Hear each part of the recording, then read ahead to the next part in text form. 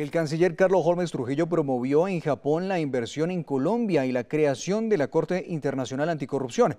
El ministro aseguró que las relaciones entre ambos países van por buen camino. En un buen momento se encuentran las relaciones entre Japón y Colombia. El canciller Carlos Holmes Trujillo sostuvo un encuentro con el presidente de la Liga Parlamentaria de Amistad Colombia-Japón y el presidente del Comité Empresarial de ambos países. La promoción de la relación económica, comercial y de inversión entre nuestro país y el Japón. También tratamos temas relacionados con la finalización de la negociación del acuerdo de asociación económica. El canciller también sostuvo una reunión con el ministro de Justicia de Japón. El tema central fue la promoción de la idea de discutir la Corte Internacional Anticorrupción y además la asistencia de Colombia el próximo año al Congreso que tendrá lugar en Kioto.